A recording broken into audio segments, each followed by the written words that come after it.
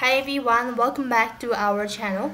In this video, I'm gonna let you know the ways to register Sainsbury discount card. So in order to register your discount card or to apply for it, you just have to follow the steps. So as you can see, once you've received your colleague discount card, you need to follow the steps. First thing, you need to activate your card. So you'll need to set up your personal online shopping account for Sainsbury. Ensure that you have a full account with an email and a billing address. They cannot set up a discount if this is a guest, if that's a guest account. Next, you need to register your discount card so that it can be added and then the colleague and the colleague discount card will be assigned to your account within 5 days and will receive an email to confirm. That's basically how you can register Sainsbury discount card. That's all for this video. I hope the video was helpful. Make sure to like, share and subscribe to our channel. Thank you for watching. See you in the next video.